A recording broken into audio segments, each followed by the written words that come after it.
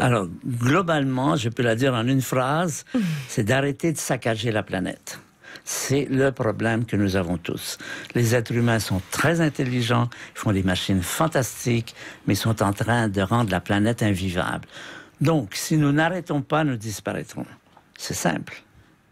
Et ça veut dire euh, arrêter de saccager la planète, prendre des mesures. Voilà. Alors, Euh, quelles mesures en pratique exactement? Moi, je crois beaucoup à la taxe carbone. Elle a failli être installée. Je crois beaucoup. C'est que chaque transition de pétrole ou de charbon soit taxée.